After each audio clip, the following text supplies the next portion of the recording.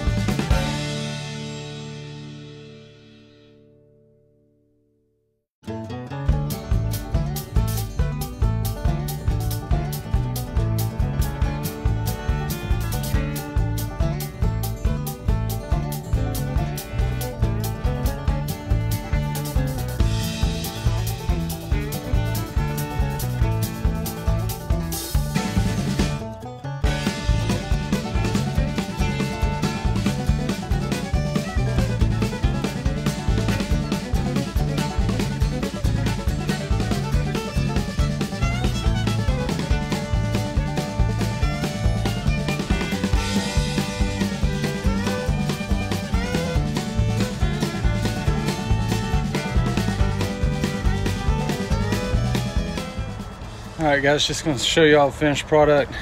It's clean down through there. Those they're sticking out, all right, at the bottom are actually just part of the bush. It's not something I forgot, but anyway, there's that one. I want to show y'all, see how clean this is. This, these aren't mulch beds. Don't get me wrong. They used to be mulch beds, but they haven't put mulch in these in years. They just have the bushes in front of the house. I guess cover up the brick. But I got the debris out of here. Say down through there. And again, this is just dirt. But there's the bushes. These are old as can be too, guys. So, I mean, it's not like I can shape them up to be pretty. But there's your final result on it.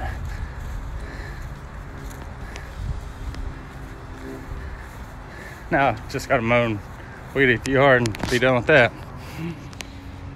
Right, one last thing, thing I, I always like to tell you guys, or I like to tell you guys to do. This is what I use, but every time after I use my trimmers,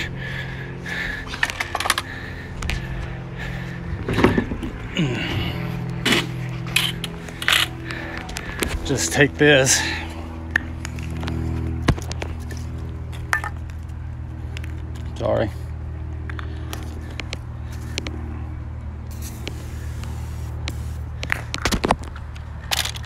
flip it over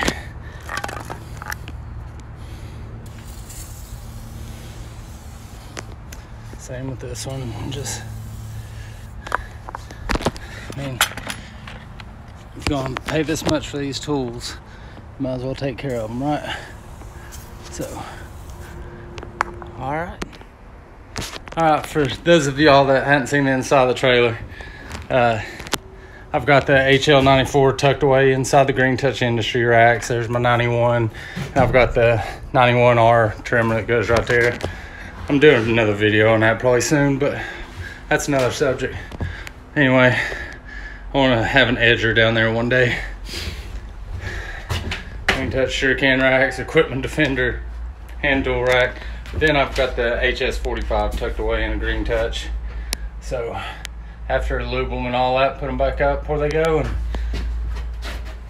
be, be ready to go again whenever I need them.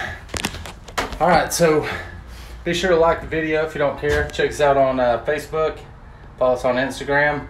And uh, I'd love it if y'all just smash that uh, subscribe button. Hope everybody's staying safe out there. It's hot. Everybody knows how hot and humid it is. Stay hydrated, stay safe, and I'll see you guys on the next one, all right?